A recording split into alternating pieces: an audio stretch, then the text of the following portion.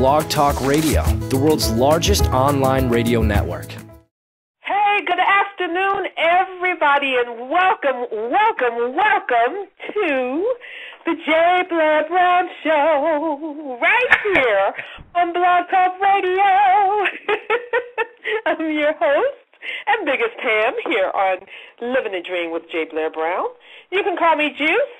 I generally have a slew of announcements before I get into um, our interview with our esteemed guest for today, Mr. Michael T. Williamson. But uh, I'm just going to give you guys our dial-in number, 347-539-5805. Mr. Williamson is on the air with us. Hello, sir. How are you? Hi, how are you? Oh, I I am just fine now that I know you're on the air with us. You had you know you had had my heart going a little pitter patter because I said maybe I should have told him to call in a little bit before the show goes on the air. but you know that's that's live radio, so it, it keeps me um, on my toes. That's right. Now- that's right. It, yeah, yeah. It's uh I'm excited to be on your show. I'm I'm really happy to be on the air with you. Oh, thank you. I appreciate you so much. You have no idea. Last week, I had a gentleman on. Uh, we were on with uh, Chaz Palminteri Ah. and someone who apparently knew you. And he started going on and on about you and finally said, Well, this is not about Michael T. Williams." Oh, that's and that is Mr. Tony Spiridakis. Oh yes, I know Tony very Yeah. well. I, I miss Tony. I haven't gotten a chance to see him too much. Well, he has such uh, high accolades, accolades for you, till I was wondering, well, maybe I should have had Michael T. on the show before I had Tony. you know, he went on and on and on, but uh, he just high regards for you. Oh, that's Uh, now- very kind. You know, I, I have to apologize because um, in doing the research to have you on the show, I found out so much more about you. I thought I knew all there was to know about you. And of course, that was not the case. I mean, you know, going through, I'm, I'm big on IMDb. So going through that IMDb uh, page, I don't know who keeps that up for you, but they're doing an awesome job. Oh, thank you. Yeah, yeah. I have my niece here with me. She's she's my niece's sister, and uh she was going through it. She was like, "Hill Street Blues, really? Hill Street Blues? He, really? The White Shadow?" I mean, she was so thrilled. And um, the the one thing that she said to me, which was kind of a slap in the face to me, she said, um, "Well, I didn't know he was as old as he is." So I asked when you were born, and you're older than me. So I go, so you thought he was younger than me? And apparently she did. She thought you were uh, around her age. You look good. That's the reason why. Uh, thank you. You know they say So, black um, don't crack. that, that's right. That well, mine must have cracked. But uh, she she's forty, and she she really thought that you were her age. So you carry it well. You carry it very well. Um, but I, I want to get started on this interview because our show really caters to up and coming independent uh, filmmakers and actors, and so it's real important that guys like you who have lived it, who's continuing to live it, you know, leave them with some hope and tell them, uh, you know, what what you've done. Maybe someone can can model their uh, pattern their uh, career after yours, which is a it's just stellar. So we want to get started on that, and and and just take it from the beginning. How did you get into acting? Well, you know, uh, my I was an Air Force brat, and uh, it was something I always wanted to do. I saw a show when I was a kid. I saw reruns of a show called Leave It to Beaver, and uh, and so I thought because Beaver and his family, Beaver got along with his family, were, and that, that was real. I thought that uh, my family was on television just like his family, and uh, my bubble got bursted and uh, but my family put me in plays at a church. Like most people start out as gospel singers. I started out as a gospel actor. And uh one thing led to the other. Yeah one thing led to the other. And uh you know just it's it see, for me success is not a destination. It's a journey. And you have to keep at it. Because the first time i made six figures i thought wow made it. But you know, if you're not smart, that money won't last. So you got to keep grinding. So just, you know, uh, I started as a child actor, and I'm fortunate enough that I had the right teachers because they taught me the secret is to not become a huge star because people burn out on stars, but to be Mm. a working actor who's so versatile that people don't even know it's you from film to film. And that is what has sustained my career is people are just now in the last few years realizing it's the same guy who's been doing all these different roles. Uh huh. Uh huh. Absolutely. Uh, I, I saw a film with you in it and said, "That's not him, is it?" And that's Lucky Number Slevin. So I have to Right. ask you, where did you get that character? Was that character written that way, or or did you do your own research and say this is the way this character would be? No, the character was written just as a straight thug, a henchman. And so when I Uh-huh. went in, I, I remember vividly, I did the role, and it was so boring. And I looked around the room and I said, that's what everybody's going to do who walks in the door. I says, let me show you what I do with a role and why I get paid. So if you want me, you don't come lowbrow, right? And they started laughing like this dude is so arrogant, but it wasn't arrogant. So I just popped in my my teeth and turned my back, popped in my teeth, and frumped my clothes up, hiked my pants up real high, and then just did the the role with a guy who wasn't that bright, who had a bit of a lisp, and they were Uh-huh. on the floor, and so that's how I got that job. But you know, I, I don't like to do what most people would do. I don't even see periods and commas in the same place as all my competition. I just don't. I just move things around because that's what it is. Wow, that that is awesome. That is awesome. I, I tell you when it, when I saw you and, and you you broke up that monotony. And you're absolutely right. That's what everybody else did, but you broke up that monotony. Now, let me ask you: you you were uh, standing next to I think it was uh, Dorian Missick, who we've also had on the show. Now, what did he? What was his take on what you were doing? He- you know, I love D. Uh, uh, Dorian, he just got it.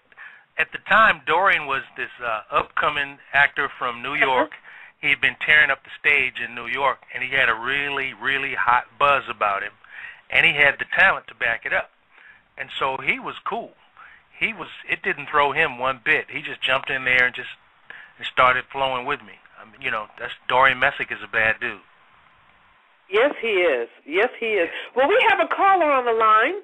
Uh, caller from last four digits are three seven seven two. Go ahead. Hello, Michael T. I just wanted to say I I love you.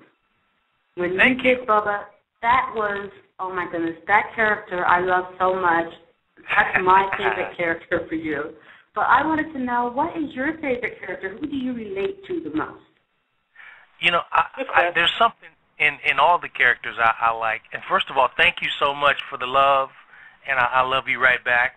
And uh, I'm really happy to talk to someone who uh, has been affected by by the work that I've been doing because I, I shoot from the heart. But Yeah. the, the the the character Bubba, I actually got from the Holy Spirit, and uh, I got him in prayer, and I was like, wow.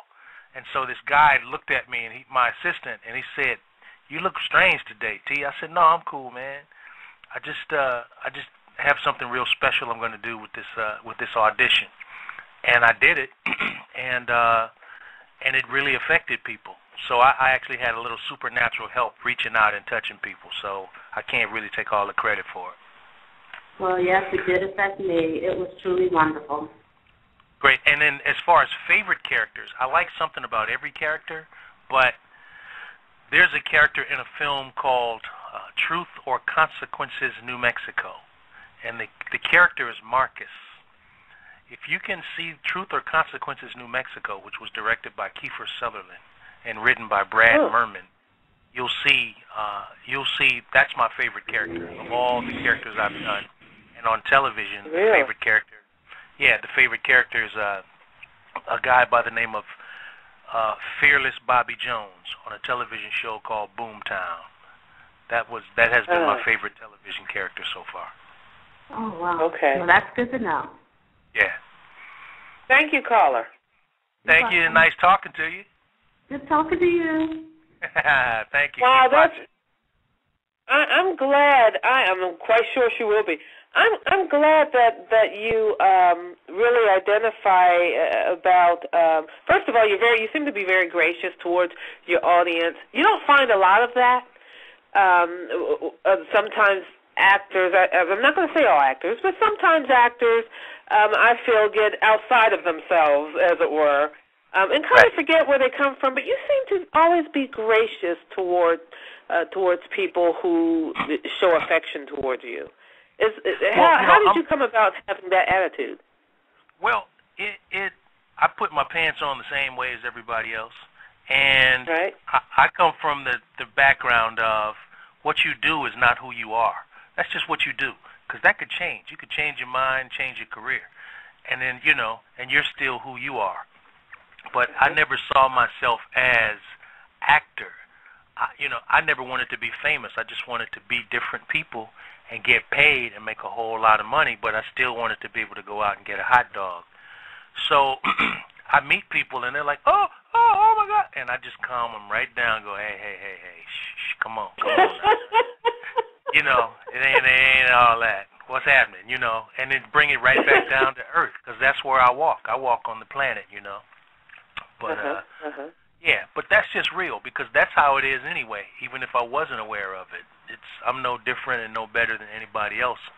I'm just uh, I just have a different response, different set of responsibilities than most people, and that is to uh, elevate art and uh, make sure it it touches and teaches. You know what I mean?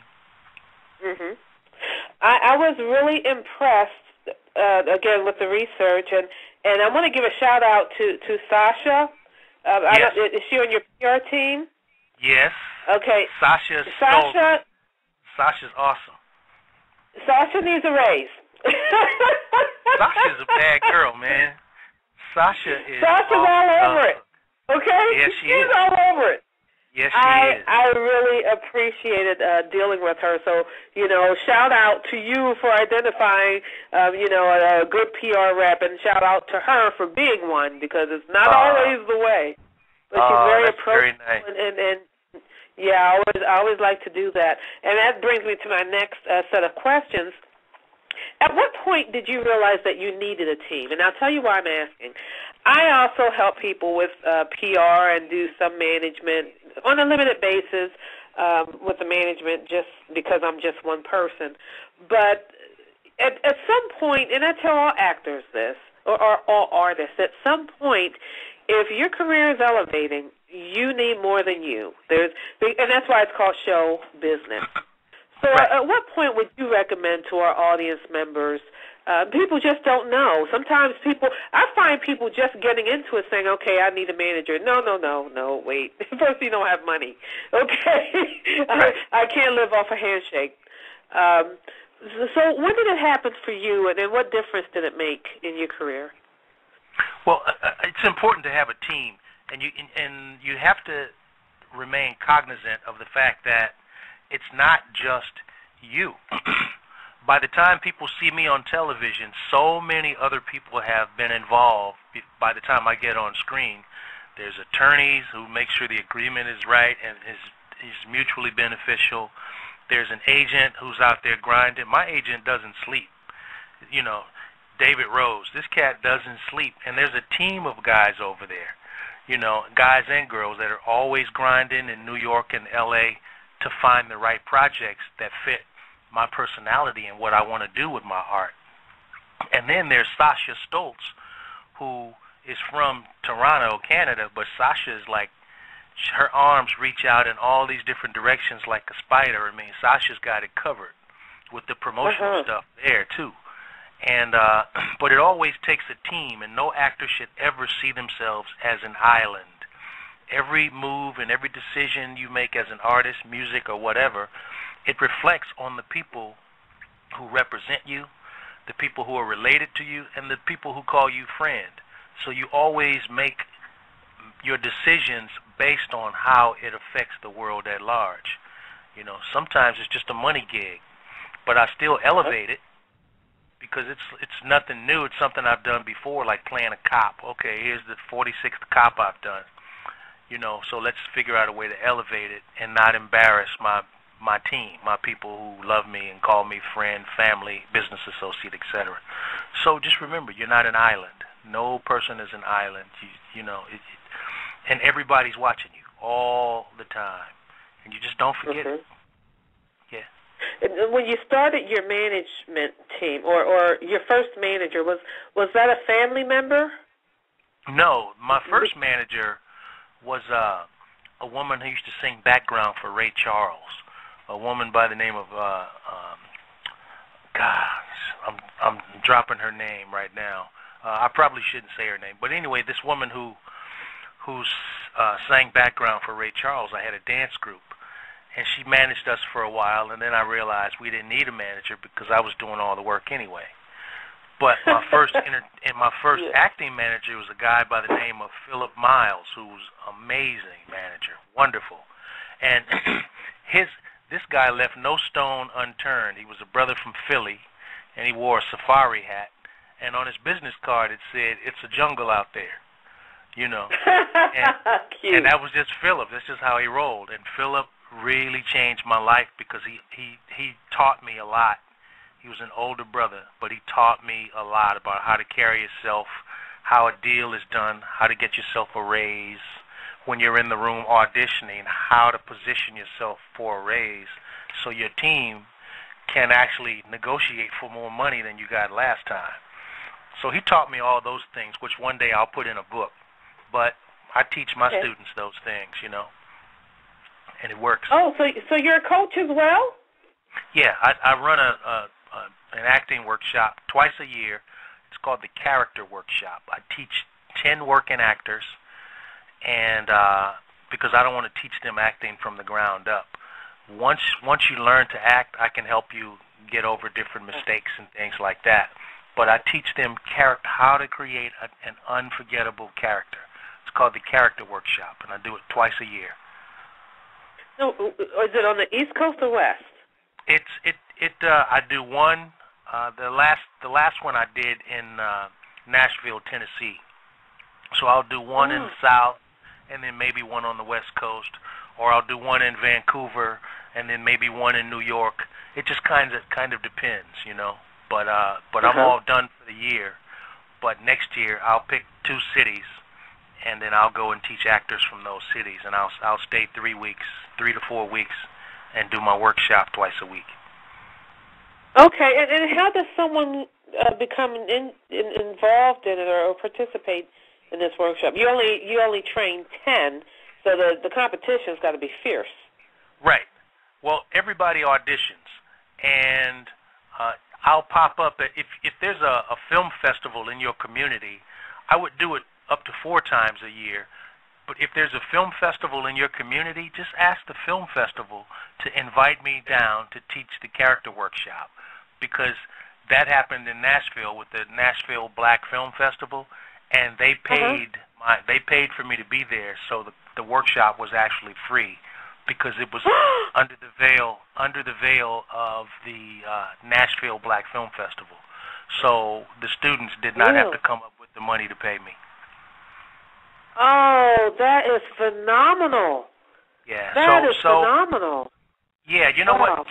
You can you can you guys can hit me on Facebook and let me know you're interested. I have uh, Sasha to help me out and uh, and my wife Sandra. So we'll get it coordinated. If I can get enough interest in your area, then I'll I'll bring the character workshop to your town, and we'll get it on. Oh wow. Oh well, okay. I'm writing this down right now. yeah, you, you're coming to Harrisburg. Okay, it's the center of the universe. You'll love it here. capital. Harrisburg is the capital of Pennsylvania. It's not Pittsburgh. It's not Philly. I don't know who started that rumor. It's Harrisburg. It is the center of the universe. You will be coming here. Pack your bags. We'll try to make all it right, a spring thing because it's too cold. uh, let me just give a shout out to all those excuse me, all those listening online, you guys can call in and speak with Mr. Mykelti Williamson. That number is three four seven five three nine five eight zero five. I'll say it again, three four seven Five three nine five eight zero five. Now, when you dial in, listeners, if you'd like to talk Don't be shy. If you'd like to talk, press the number one, and that kind of raises your hand on my switchboard. So I see a couple of callers here now. You guys have not pressed the number one. If you press the number one, then I I know to give you a call. Remember, uh, this is a uh, family show. I know right. how sometimes the, the women get when I have the men on the show, and I have a a quick, you know, finger here, so I'll turn you off in a minute if you're a little disrespectful. Mind your manners. We're on with Mr. Michael T. Williamson, who just mentioned that he has a wife, Sandra. I did not know Yes. that. So, Yeah, my uh, wife uh, do you have Atlanta, children as well? She, my Oh, wife okay, is a commercial actor, and she's from Atlanta, Georgia, and uh, we have two daughters. I have three daughters, but my wife and I have two daughters together. They're 13 and 12. Wow, wow. Now, what's life like for? I I always wanted to have a show with just wives. Like I, I want, I would like your wife on the show and, and Denzel's wife on the show because as a woman, I know why I'm not married to a, a good-looking actor. it wouldn't be pretty. I'm telling you that now. So you know, I just I always appreciate uh men like yourself who always you know give a a nice shout out for the wives because um you know that's a that can be a little you know a little touchy for me. Um, but maybe that's just me. I don't know. Hey, listen, Michael T. We have another caller on the line. Caller from zero nine seven four. You are on the air, living a dream with Mr. Michael T. Williamson. Go ahead. Hello, Michael T. I love the fact that they call you T. Can I call you T? Yes, you yes you may. Well, T, first of all, like the other caller, Bubba, it was just a fabulous, fabulous character. But what I want to know is what got you from acting to directing, and which do you enjoy the most? Well, I, I enjoy them. Thank you so much for the for the love, the Bubba love, as I call it. And uh, I I actually um, uh, enjoy both. The my first love is acting, but I think my greatest love is filmmaking because I get to hire talented people I believe in and bring them all together to fulfill a vision. And that I like because as an actor, I normally travel with two other guys. I have a security guy uh, Huh? who travels with me, and then I have my production partner James who travels with me. And uh, so it's normally the three of us. But as a director, I get to hire like 40 people. You know, so that I really, really dig. I, I like it a lot. So does it bother you that you have to be away from your family so much and do, being so busy? Uh, that's the tough part, but but you know, my family they get it, and I, I'm home. I'm away from my house no more than two weeks. Uh, that's the way I structure my deals. If uh, you want me to come and do your project, then I'll have to get home every other weekend, or uh, my Mhm. family has to come to me. So you'll have to buy tickets to bring them to me. So Oh wow, I try to great. Take it, yeah, I try to take Mhm. it easy on the production, but that's the way I've been rolling for years. And the only time I've ever been away from my family for longer than two weeks at a time was uh, in Africa. But my wife joined me for ten days after I was there for a month. Hmm.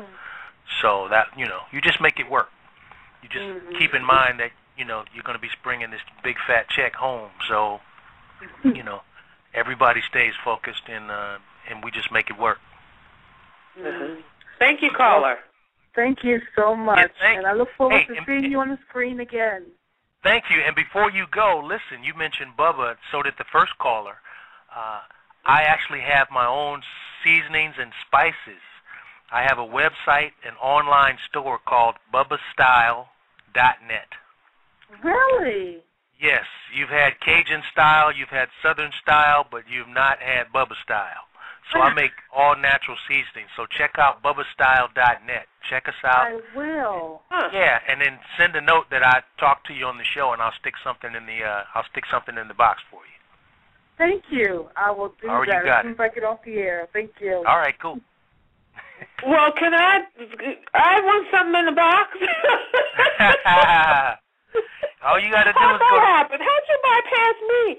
That's wonderful. That's wonderful. Let me let me ask you about that. Uh, Bubba, I know that Bubba has been such a an, a part of your life. Right. What? What's the question I want to ask? Has it ever been overwhelming to the point of just, you know, have you ever felt like you were stuck in a box? No, no, never. It uh, because I change characters all the time in the industry. It, fortunately for me, it wasn't the first, second, or third job I'd ever done. I had I had done 200 uh, different episodes of television by the time I did Forrest Gump. So people knew what I did. I'd done some movies, but I'd done so many hours of television. Like I said, over 200 hours of television. So people knew that uh, the industry actually knew that I was a real guy. The uh, I was I was an actor playing this character, but huh? it's it's interesting because that character almost uh, a lot of people didn't get it. The publications and things. For example, Jet magazine. My former manager, she called Jet magazine and and tried to get me a cover, and they said, "Oh no, he's too ugly."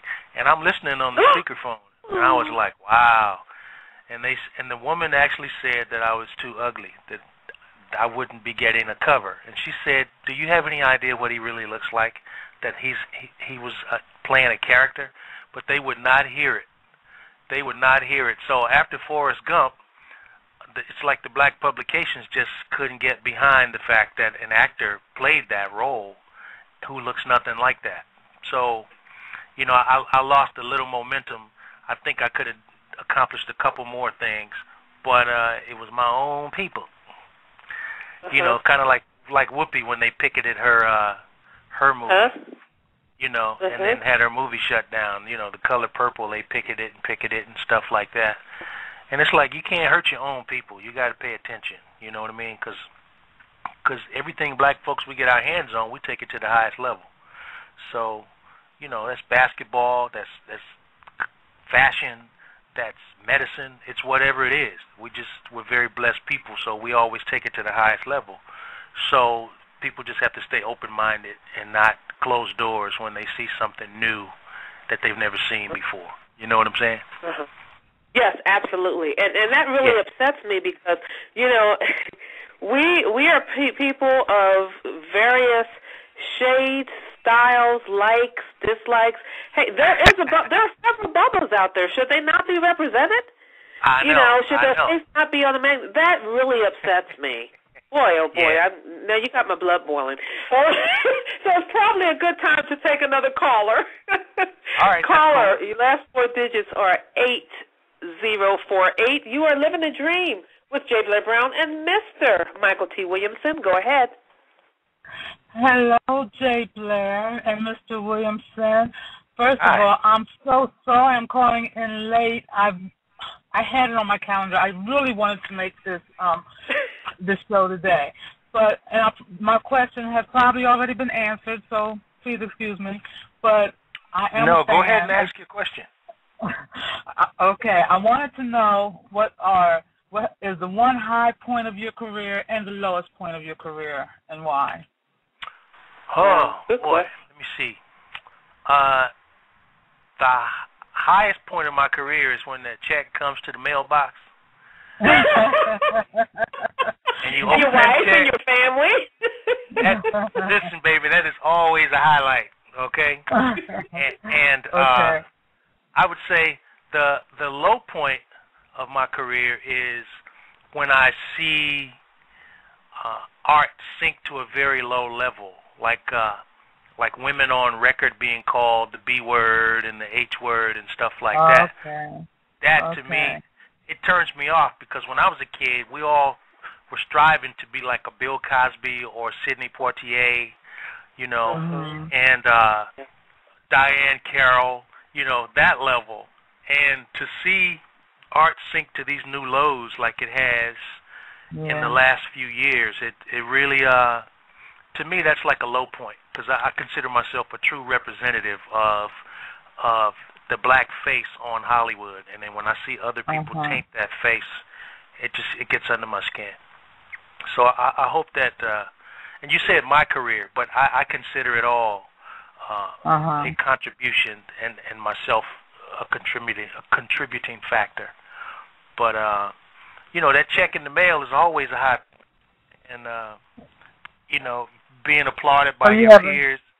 Yeah, or you people stopping me on the street. Yeah, or people stopping me on the street asking, you know, asking me if they can take a picture with me, stuff like that. That's a high point because you know you affected oh, that's somebody. Good. That's really good that you feel that way. Yeah. Thank you. Thank you very much. Absolutely. Thank, Thank you, you for your call. And best wishes for you.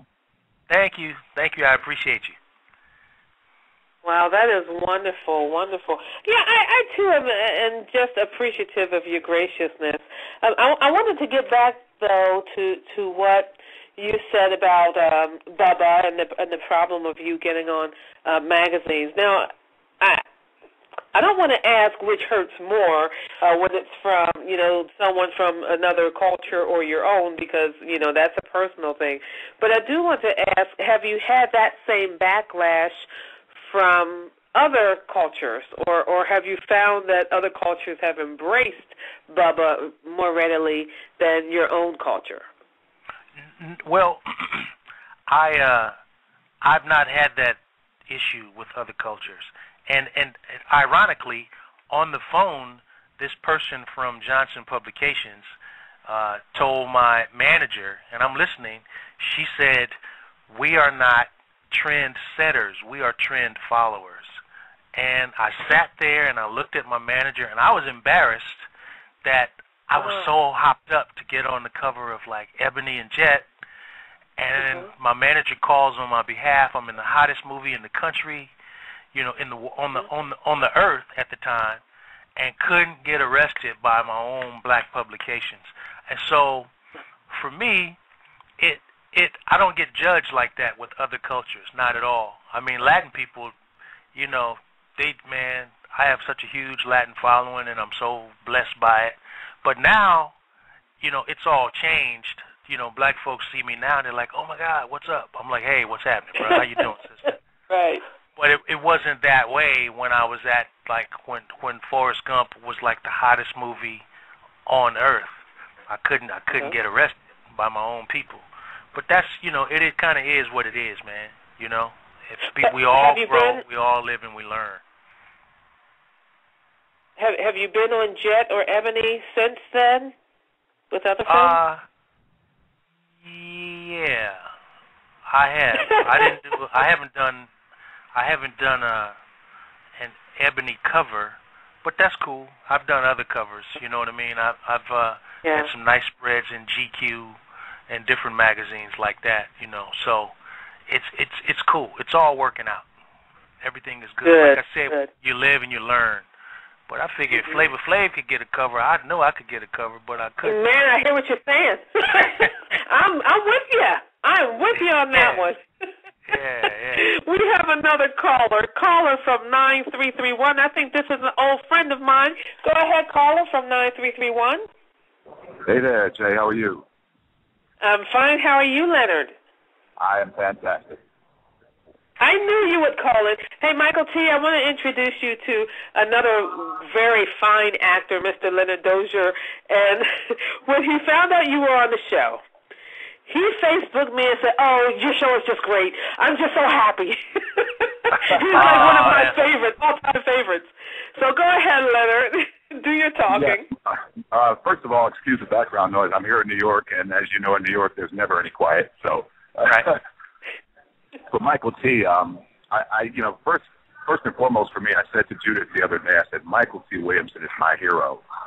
And you know, when I came up as an actor, I think the first time I saw you, brother, was uh, actually in Forrest Gump, and then afterward Heat. I was sophomore, junior in high school, at the you know pretty much at the point of beginning my career, and at that point, literally, you were like not only just sort of a, an actor figure for me, but a surrogate father. Oh, and, that's very no, and I, and I mean that in the truest sense of the word. You have been single-handedly, even the the leaps and bounds that I've made in my own career. I attribute 40% of you, 40% of it to you, unbeknownst to you.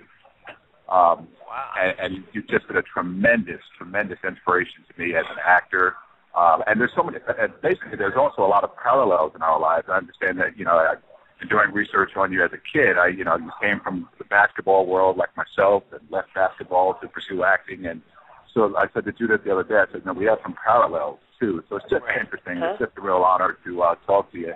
And I guess if I do have any question for you, it's uh, is there any role or character that you that you want to play that you haven't played yet?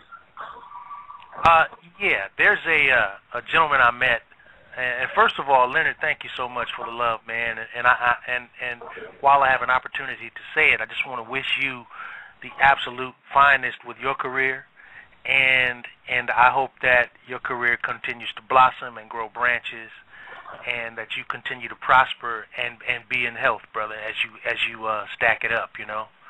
But you, uh, yes, yes, there there's there are a couple of roles that I would like to play. One is Donny Hathaway. Oh yeah. oh. Yeah. And the and and the other is a uh, an actor who I had the privilege of meeting back in the 70s and this an early uh late 70s and this guy he his name was uh Lincoln Perry but they called him Step and Fetch It. Oh, okay, yes. Yes, Yeah. absolutely. That for Wow. me is a dream role because he was the first black movie star, but he was so despised by his peers for Huh? playing that silly character. It's no different than characters people like Red Skelton did or Jonathan Winters or any people like that. It was it was just a caricature of a human being. He was making fun of what people perceived us as being. But he was the first black movie star, and he was such a lonely guy that he would have parties at his house and invite and invite people to his house, and they would other black folks would steal his silverware and his dishes and take them out the back door, and he would stand there and oh. watch them because he didn't want to say anything to them because he wanted them to come back the next time he wanted people to come over. So, you know, there's a lot of stuff going on with this man's life, and uh, I think he's a very, very brilliant and misunderstood artist. And I just would like to do a film that sets the record straight on Step and Fetch It. Wow. Well, how can how can we help in making that happen?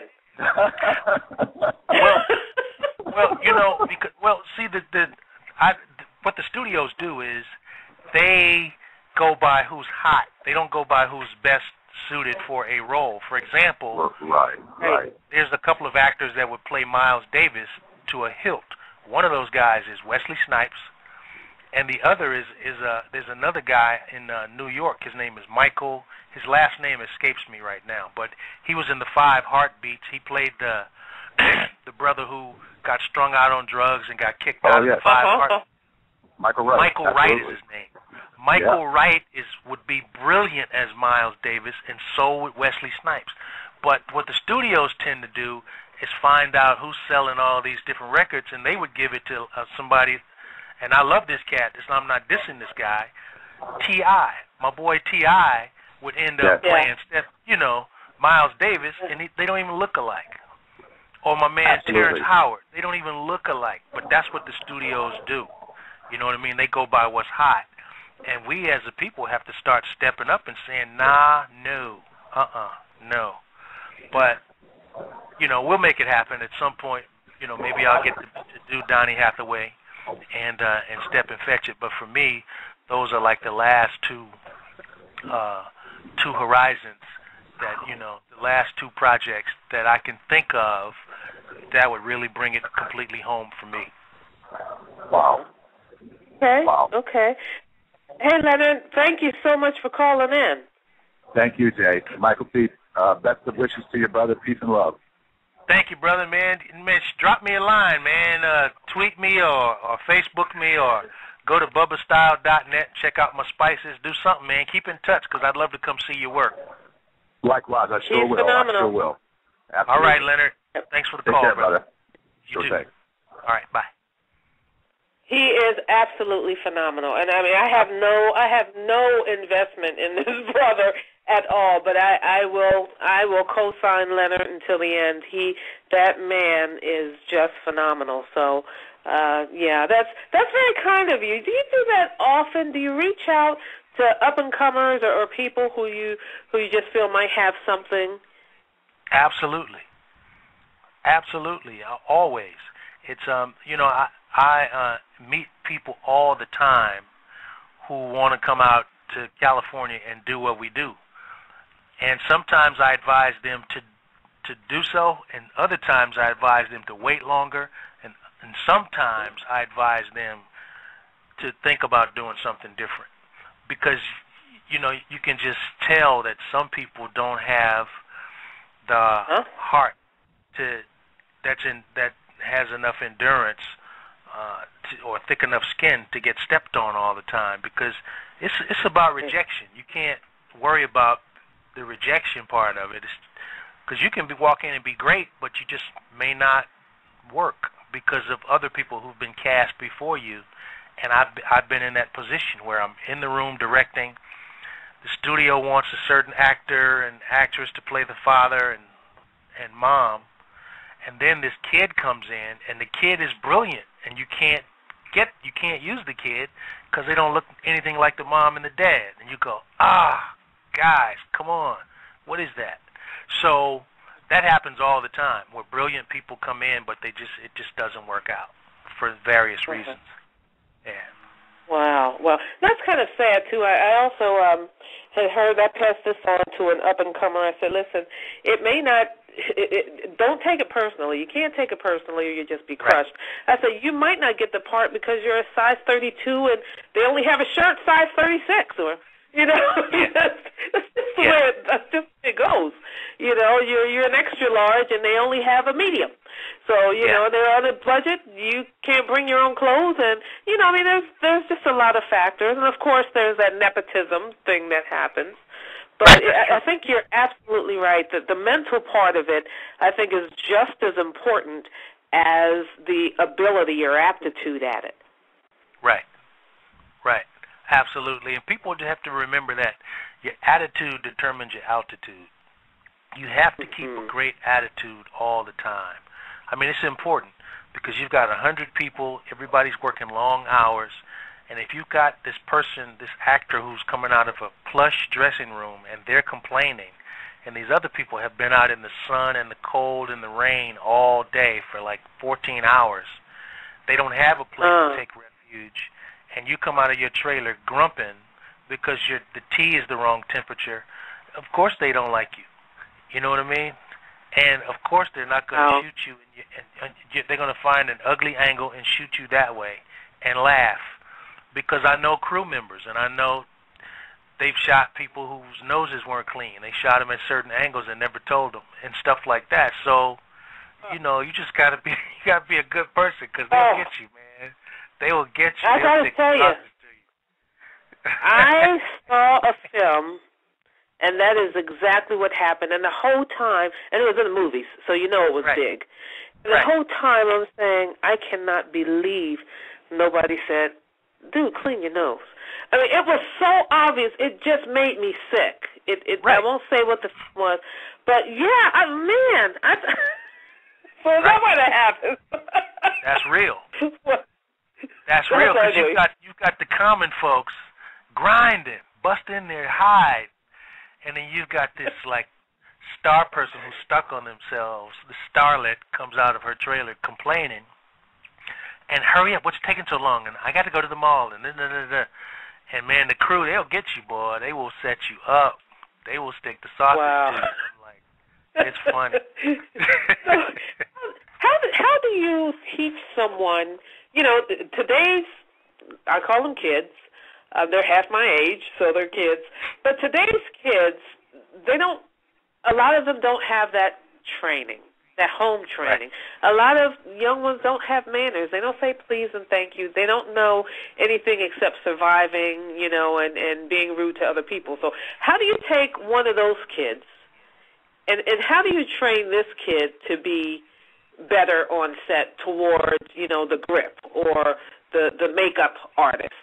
What what do you Well- say to those people? Well, that's the beauty of theater.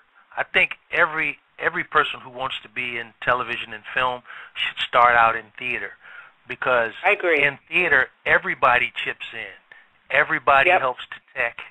You if you hang lights, you build sets, you paint sets, you clean up your own dressing room, you take out your own trash, and it it teaches you what it's really all about. So as you climb the ladder, you understand what those jobs are. But the people who go directly to the top, you know, because of nepotism or whatever, if they haven't been taught at home, there's really nothing you can do about that. It just that just kind of is what it is.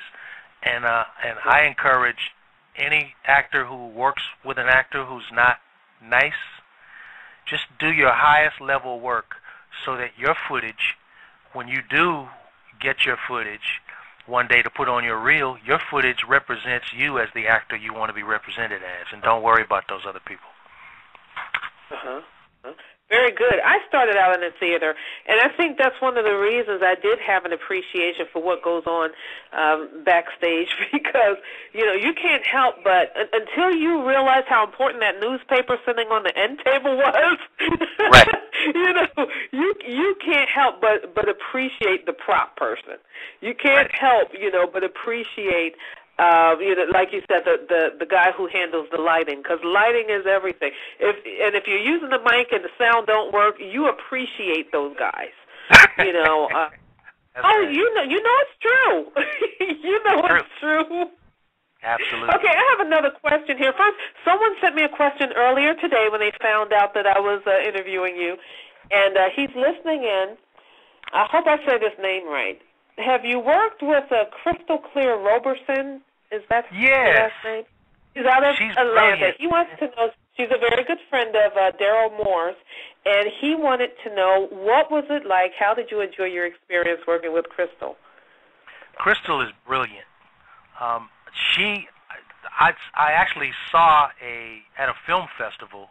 I saw this short film, and I got a chance to meet the director. And because I stuck around, I wanted to meet the director. So when all the people got away from her and she was by herself, I approached her and talked to her. We became friends. She comes by my mother-in-law's house every time I'm in Atlanta. We sit down downstairs in the den, and she hangs out with my whole family. She's actually here in LA, and I hope to see her maybe tomorrow before I leave for uh, New Orleans on Wednesday. But she's brilliant. Crystal Clear is brilliant.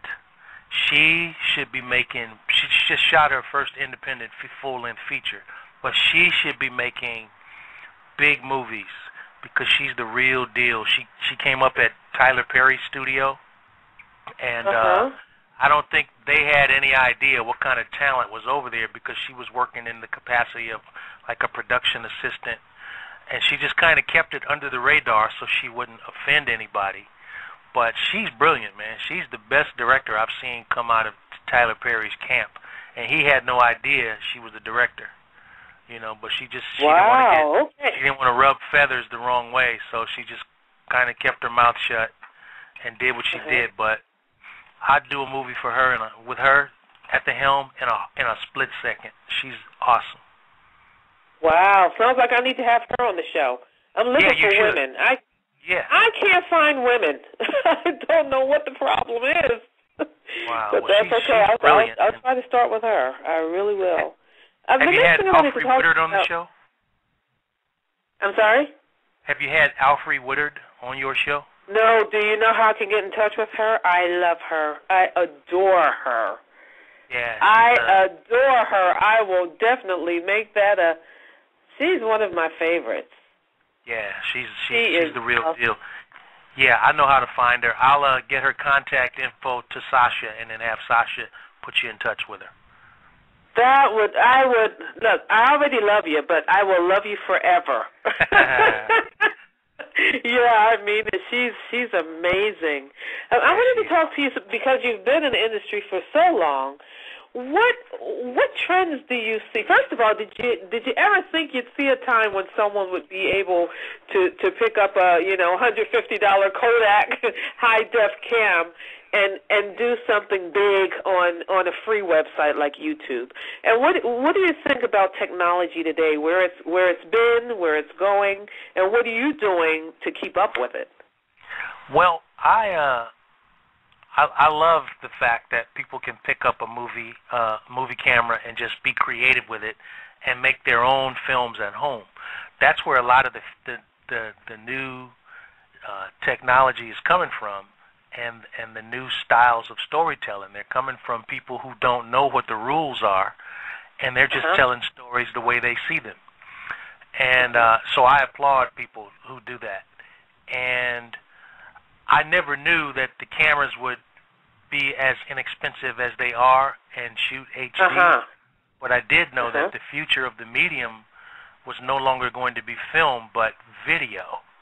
Because in film school, that's what our, my professor taught me, and people would argue him up and down, and he just would tell you, I'm telling you, video is the future, not film. Video is the Oh. future. Electronic he saw that. film. Yeah, he he knew it. He but that's what he told us back in the 80s. He was teaching us that. So so I I knew it w- would be video, but I love YouTube and and uh uh, uh Vimeo and the different networks where you can go on now. In fact, I'm a writer director on a web series that's on YouTube. It's called WIGS, W I G S. It's Women in Greater Society. Uh, but it stands for where, but it stands for where it gets interesting. But it's WIGS, and all of these episodes. If you, if you go to YouTube forward slash WIGS, you'll find a hundred, 100 episodes of television shows. They're five to eight minutes long, and it features strong female leads. And uh, I have the privilege of being one of the writer directors. I was invited on late in the season last year, and I'll be back this season. But writing and directing, so you get a chance to see my work as a writer and a director, and uh, you'll get to see the work of the lovely, talented Dawnn Lewis uh, from Different World. I mean, she's in a capacity. Yeah. Yeah, she's in a capacity that most people don't get to see her in, but I know she's fierce and she's beautiful. And she's actually studying to do a play right now. She'd be someone else that would be great for you to talk to is is Dawnn Lewis. So Okay. I'll, I'll put you in touch Yeah. with Dawnn too. Yeah. oh, But, I uh, would love I, that. I would love that. Yeah, but- I really, you know, I like I said, I, I was in the theater. I've done over a hundred live performances. I mean, I was, you know, a real actress, and for whatever reason, I stopped doing that. But uh, my my point in saying all that is, I have such an appreciation for for women in the arts. And I've had producers on who are women. I I just can't seem to find the the women actors, and and, and that brings me to my next point. Do you think, from from a, a black man's perspective, do you see the the unfairness in Hollywood towards um, different ethnic groups and uh, gender-related issues like that? Uh, yeah, I, I see the missed opportunities all the time. And that's what I call them. I call them missed opportunities for the studios and for the artists in question. Because everybody has a different story to tell.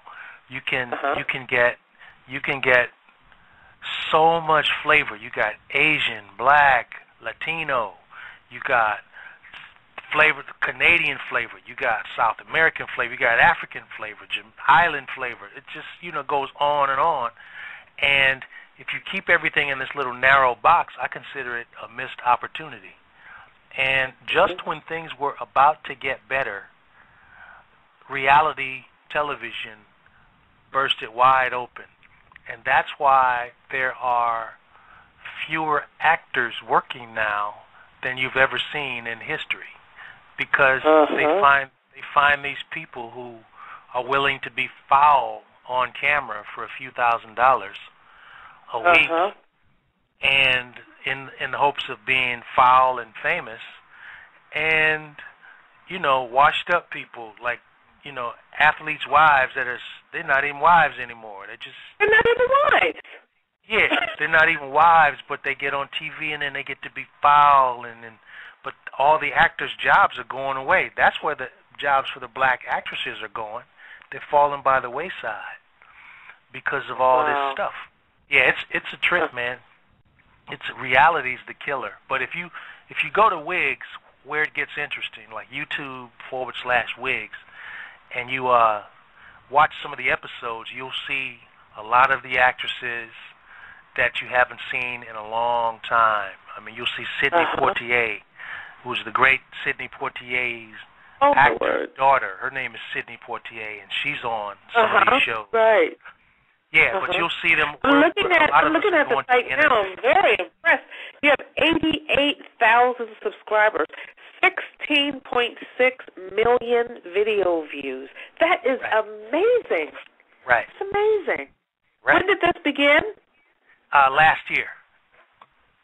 Okay, for for you it started last year, or did the yeah, last start? year. I started. Last year was the in the fall was the first season, and we shot. Oh, my word. the s- we We shot up until the spring this year, so we Uh-huh. go back in less than a month. We go back into production, and I've written some more episodes that are.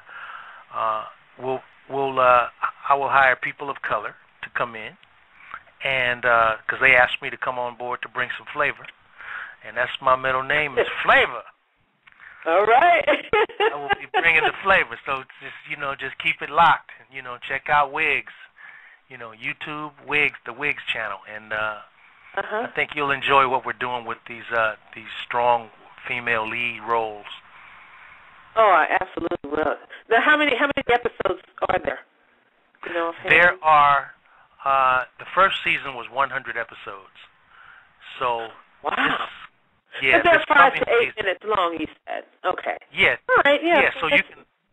Yeah, but the whole point is, if you're waiting in your doctor's or dentist office or waiting for an appointment, instead of picking up a magazine and picking up some germs, you can just jump on your little smartphone and watch a movie, and you're done with Uh-huh. it in like five to eight minutes.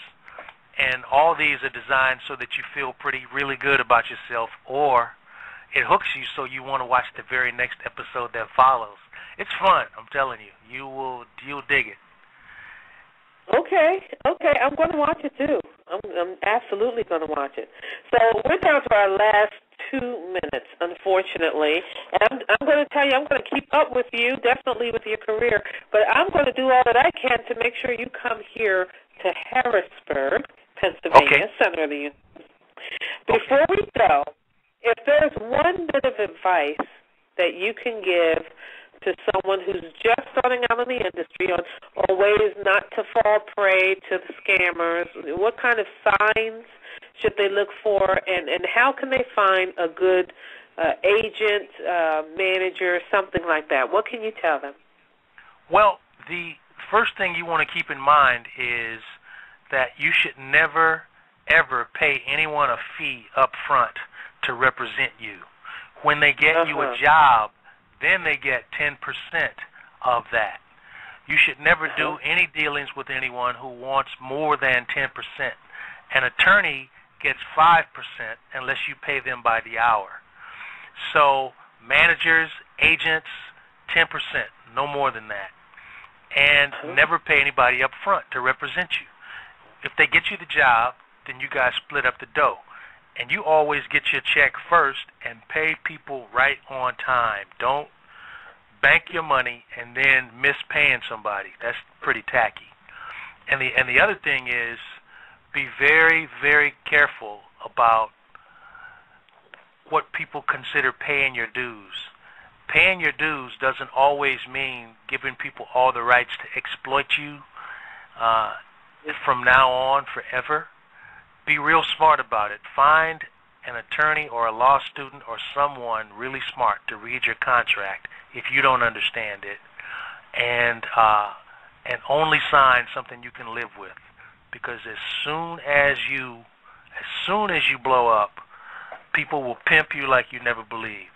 And then and and Wow. the other thing is, whenever you take pictures, look on the internet and get a work for hire contract. It's just a simple one-page work for hire agreement, and you make sure that the that you own the photography, you own the images that your kids that you take. You make sure you own it because if you don't, as soon as you blow up, people are going to take advantage of you and start stealing from you, and you'll have no legal recourse. And that's about it. Just keep a keep a great attitude, stay prayed up, and always keep the light on. Oh, wonderful, wonderful. Now, before we go, real quick, what is that website? It's uh, which one? Mine with the spices? Yes. The spices. Yes. It's BubbaStyle dot net. Bubba All right, all right. Right. Michael T. Williamson, it has been such a pleasure. Thank you so much. I, I don't think you know just how touched I am and how grateful I am for you to come on to my little show here on Living the Dream with J. Blair Brown. We will definitely keep in touch with you. And I will definitely wait to hear how I can get in touch with Alfre Wood, uh, Woodard and Dawnn Lewis. Okay, you great. said it, and I have it recorded. All right, great. So thank and you uh, so I actually made a note for myself, so as soon as I'm off the phone, I'm going to see if Alfre's number still works. I just talked to Dawnn over the weekend, so I know how to get in touch with Dawnn. But I'll make sure Oh. Alfre's number is still good, and then uh, I'll I'll just take care of it from there. Okay, and anytime you're promoting anything, just let us know. I'd be more than happy to uh, put it out there. I'm real big on uh, Twitter and Facebook. I'll help you promote it, and I'll if you want to come back to the show, just let me know. It'd be a pleasure to have you back. You know, thank you so much. Uh, God bless you. Continued success. May every Thank single you. thing you touch turn to gold. Oh, I certainly, I pray so. okay, thank you so right. much, Michael T, and we will keep in touch. You have a good I look day. forward to it. You too. Bye. Uh, bye bye. That's all we have today. There will be no show next week, guys. Thanks for dropping in. Uh, go to Facebook, like me on Facebook. You guys know where it is, Living the Dream Radio Show, and keep in touch with when my next show will be coming up in two weeks. That's all I have. Good day. Blog Talk Radio, where millions of hosts and listeners gather.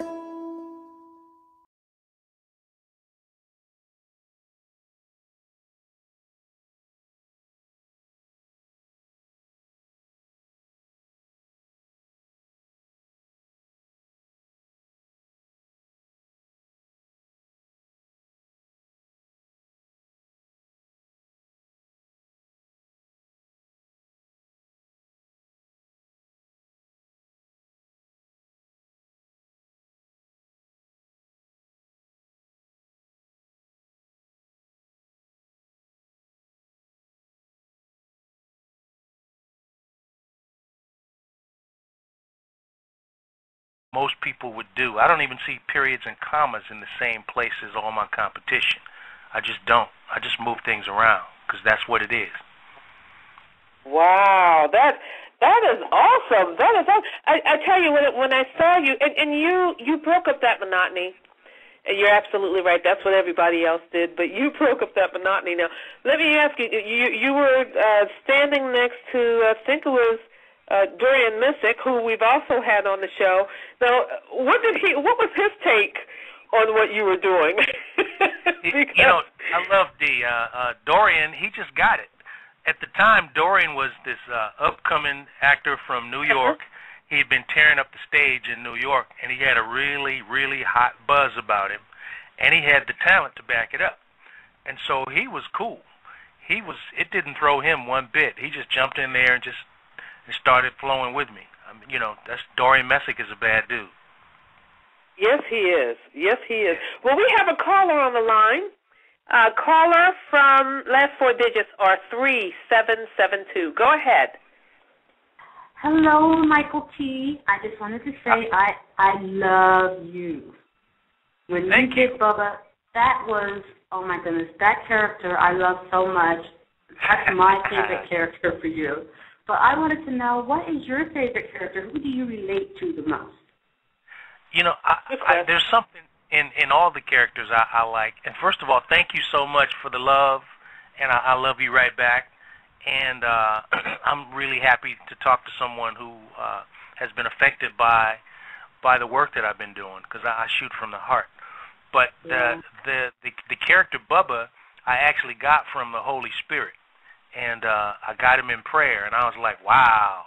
And so this guy looked at me, and he, my assistant, and he said, "You look strange today, T." I said, "No, I'm cool, man. I just uh, I just have something real special I'm going to do with this uh, with this audition." And I did it, and uh, and it really affected people. So I, I actually had a little supernatural. So much more about you. I thought I knew all there was to know about you. And of course, that was not the case. I mean, you know, going through, I'm, I'm big on IMDb. So going through that IMDb uh, page, I don't know who keeps that up for you, but they're doing an awesome job. uh, thank you. Yeah, yeah. I have my niece here with me. She's she's my niece sister, and uh she was going through it. She was like, "Hill Street Blues, really? Hill Street Blues? He, really? The White Shadow?" I mean, she was so thrilled. And um, the the one thing that she said to me, which was kind of a slap in the face to me, she said, um, "Well, I didn't know he was as old as he is." So I asked when you were born, and you're older than me. So I go, "So you thought he was younger than me?"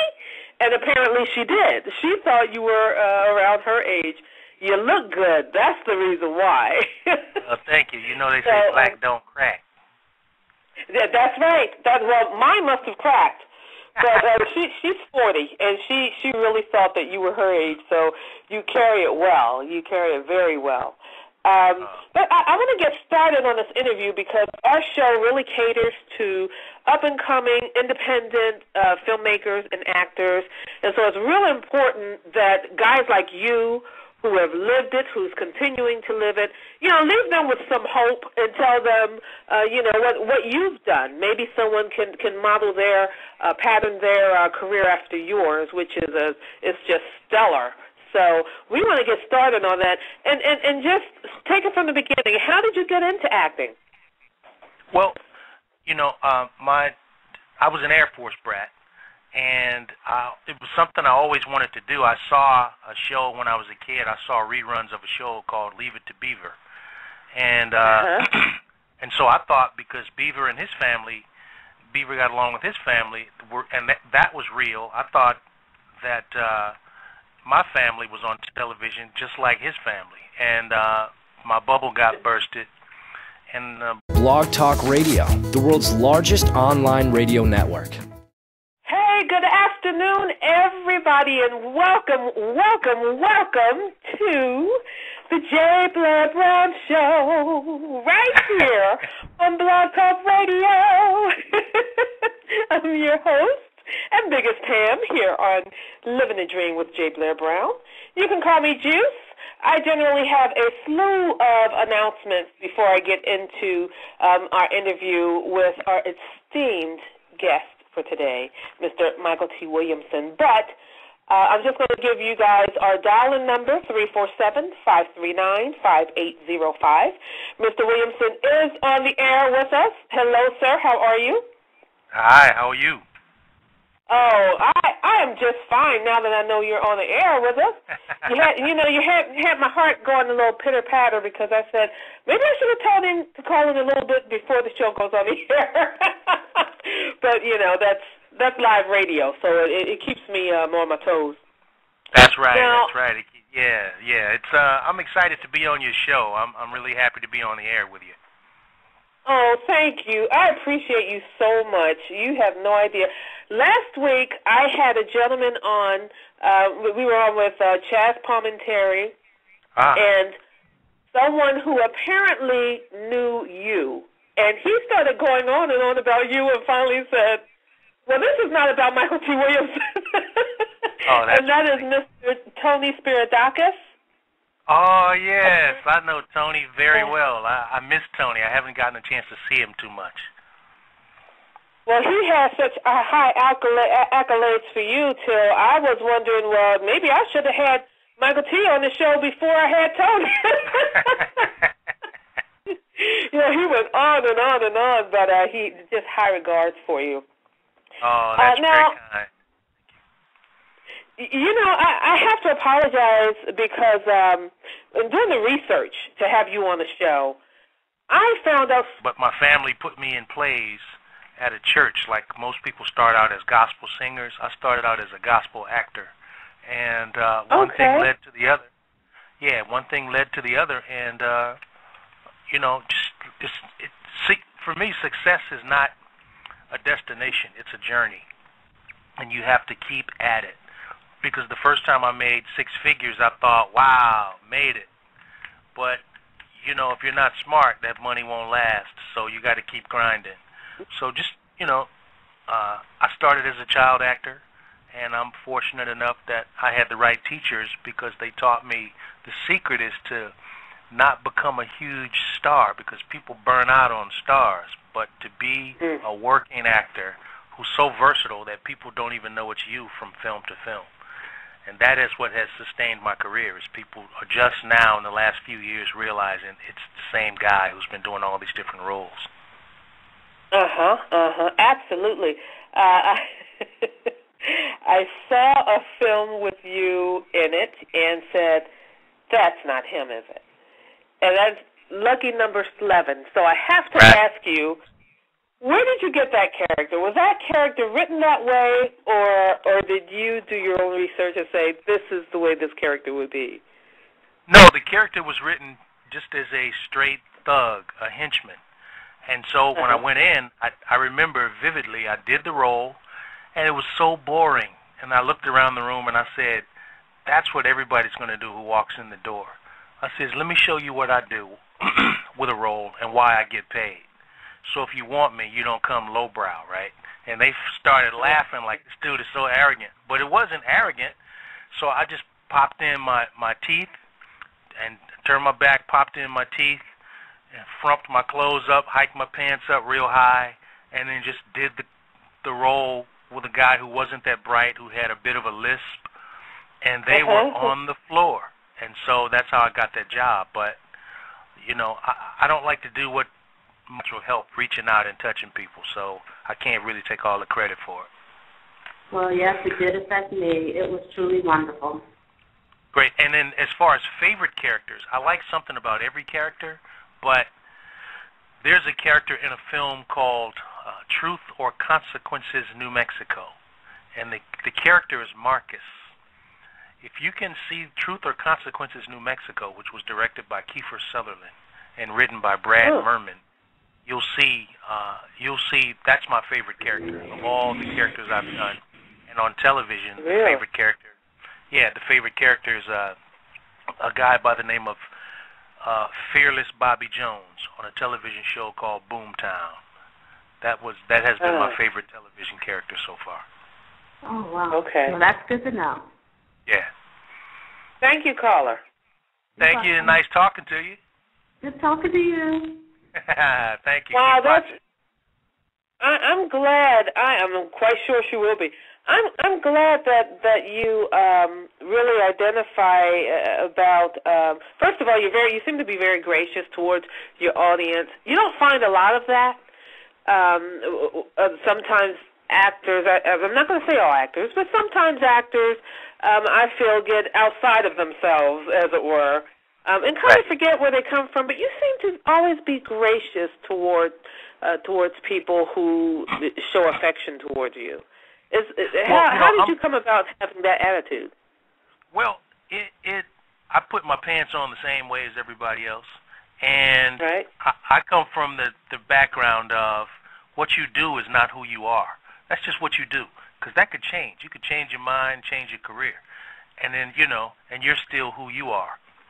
But I never saw myself as actor. I, you know, I never wanted to be famous. I just wanted to be different people and get paid and make a whole lot of money. But I still wanted to be able to go out and get a hot dog. So I meet people and they're like, "Oh, oh, oh my God!" And I just calm them right down. And go, "Hey, hey, hey, hey!